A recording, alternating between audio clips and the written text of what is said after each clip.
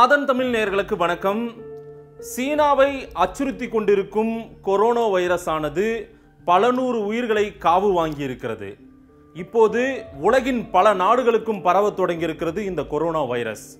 இந்தியாவின் துணை கண்டத்தை அச்சுறுத்தி வரும் இந்த கொரோனா வைரஸ் இந்தியாவிற்குள்ளும் இப்பொழுது வந்து கொண்டிருக்கிறது. இந்தியாவிற்குள் கிட்டத்தட்ட ஒரு முப்பது பேர் கொரோனா வைரஸால் பாதிக்கப்பட்டுள்ளனர் என்பது அதிர்ச்சிகர ஒரு தகவலை கொடுத்துள்ளது. இந்த கொரோனா வைரஸிலிருந்து தப்பிப்பது எப்படி? வாருங்கள் தெரிந்து கொள்வோம்.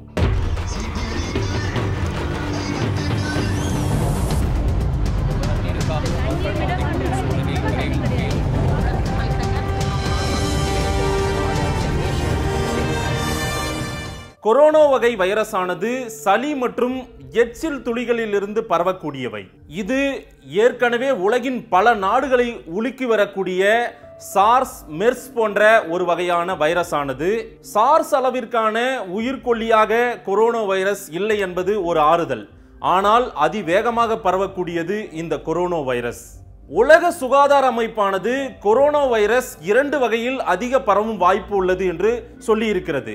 ஒன்று ஒருவர் இருமும் போதும் தும்மலின் போதும் சுற்றியிருக்கக்கூடிய பொருட்களின் மீது எச்சில் துளிகளாகவும் சளி துளிகளாகவும் தெரிக்கும். கிட்டத்தட்ட ஒரு மூன்று நாட்கள் இது அப்படியே படிந்து கிடந்து உயிர் வாழக்கூடிய ஒரு வைரஸ் என்று சொல்லப்படுகிறது. அதை மிதிக்கும் தொடும் நபர்களின் மீது கொரோனா வைரஸ் தொற்று ஏற்படும் என்று சொல்கிறார்கள்.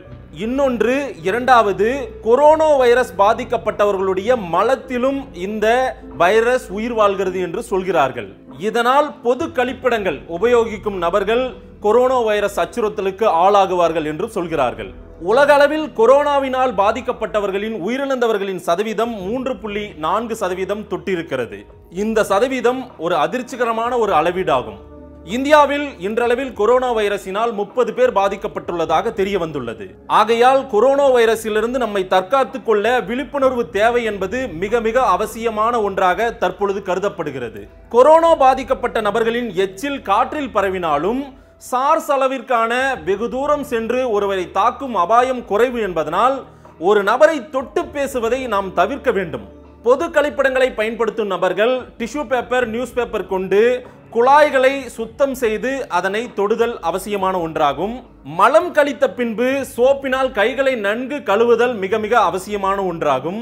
மால்களிலும் வேலையிடங்களிலும் இருமலின் போதும் தும்மலின் போதும் கைக்குட்டை பயன்படுத்துவது மிக மிக நல்லது. மூன்று நாட்களுக்கு மேல் இருமல் தும்மல் நாக்கு வறட்சி ஏற்பட்டால் உடனடியாக மருத்துவரை அணுகுவது மிக மிக அவசியம். அப்படி உங்களுக்கு கொரோனா வைரஸ் இருப்பது உறுதியானால் பள்ளிகளுக்கோ பணியிடங்களுக்கோ அதே போல வெளியில் போகாமல் தவிர்ப்பது மிக மிக அவசியம். பாதிக்கப்பட்ட நபர்கள் தங்களுடைய கைக்குட்டை கர்ச்சிப்பை முறையாக அப்புறப்படுத்த வேண்டும். தவறவிடக்கூடாது கொரோனா தொற்று ஏற்படாத நபர்கள் தங்களுடைய முகத்தை கைகளால் மூடாமல் மூக்கை தொடாமல் இருப்பது மிக மிக அவசியம்.